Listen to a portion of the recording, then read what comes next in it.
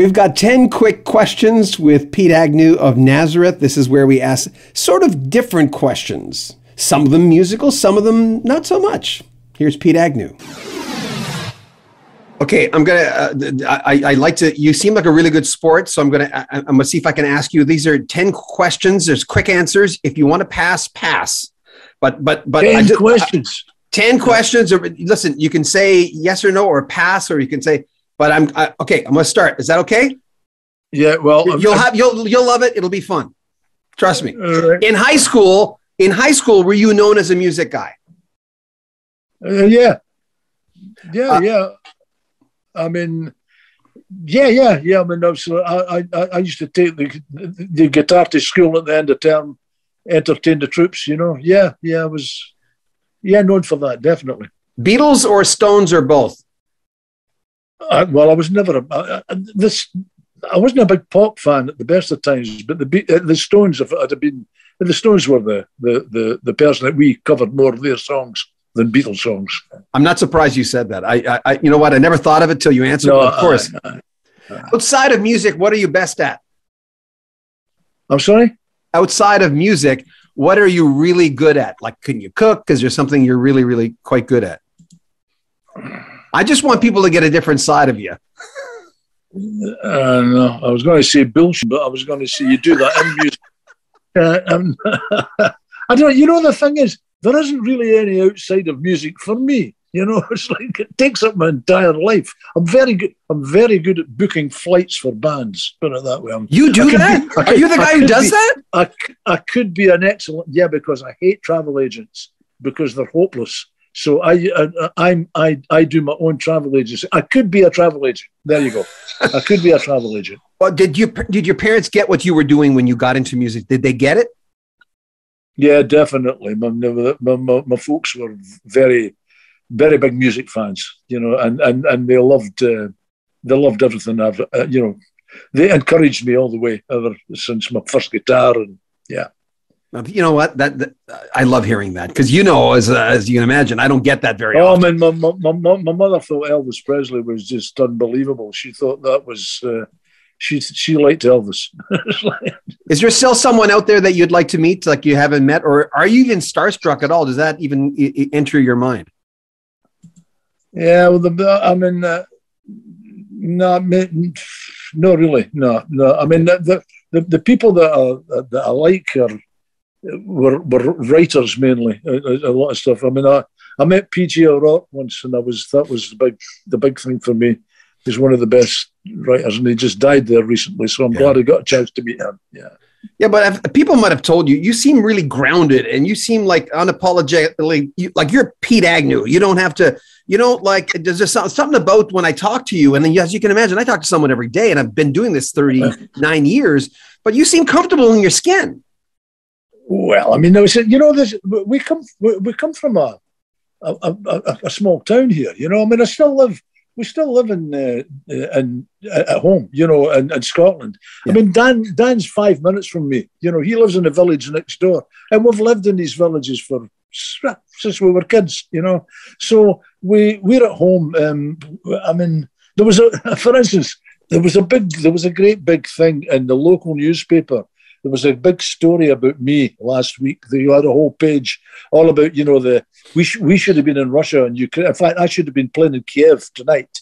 We should have been playing there, and we should be playing Kharkiv tomorrow, and we should have just come from Russia. So there was a big story about us being in Russia and blah blah blah in the paper, you know, and and so in big progress. So so where I am, I'm no big rock star here. I'm Pete Agnew. It's just in the local paper, you know.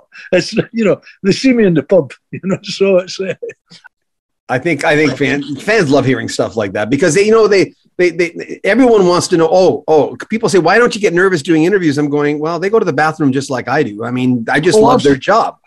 Absolutely, absolutely, absolutely. I mean, it's like I say, we we we grew up. We we we we stayed in the town that we were pretty much in the town, the villages around the town that we were yeah. born in. I mean, at the time when we were when we were hitting the sort of the high spots, if you like, oh, you should move to London and you should move to LA and you should move here and and, and to tell you the truth, if we had made any moves, I probably would have been Canada because I mean we were more comfortable there than any place else. You know, and I've got to say that. Uh, I've had oh, I've had many a hangover in Toronto. I've got to say, but then again, I've had many a hangover in Winnipeg, and Montreal, and Vancouver, Grande Prairie, you name it, Regina, Rizzo. Um, Canada no, loves you.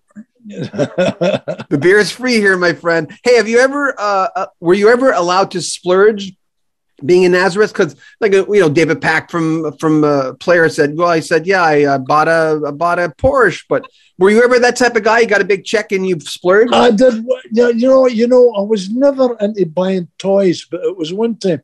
I remember when, when I was about 14 years old, I saw this car in the in the high street in Dunfermline. It was a Morgan. And I remember seeing this and thought, I'd love one of them. It looks incredible and thing. So when when we sort of hit it big, I was up in the, we lived at Isle of Man for a while. And Manny phoned me up and he said, listen, there's a Morgan, a big, a red Morgan, plus eight up in the garage up there.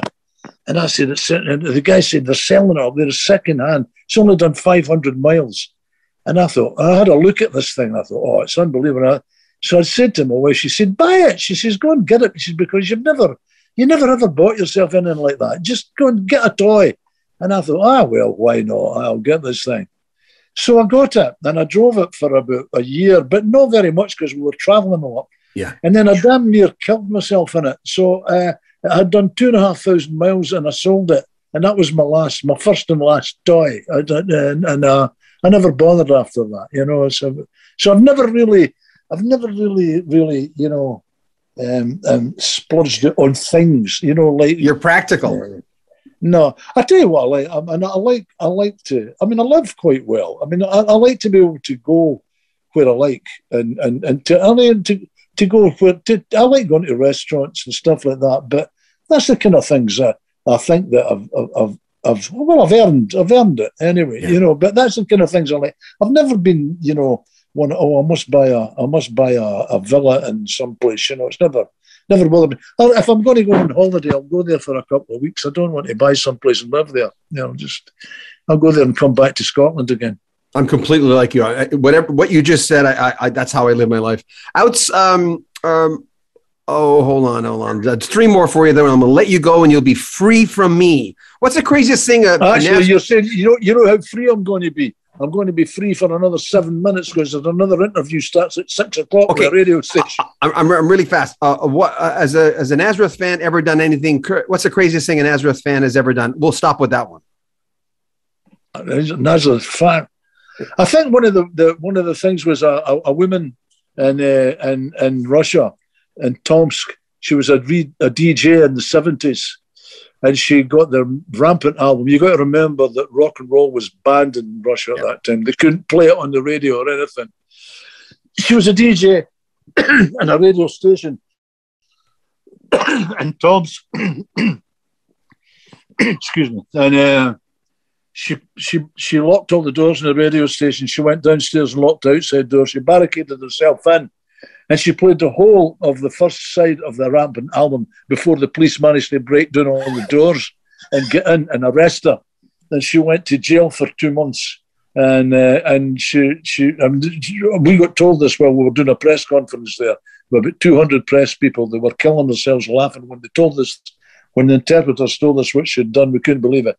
That was a Nazareth fan. I think that's a pretty crazy thing to do. She could have she could have easily got 10 years, you know, yeah. but she got, she got to, she went to jail for us just just to play us. So best best story of, uh, for that question. Remember, if you want to check out the whole interview, it's on our sister site, Rock History Book, and there's links to that and the podcast of this interview as well in the description of this video. We'll have a next clip from Pete Agnew in two three days.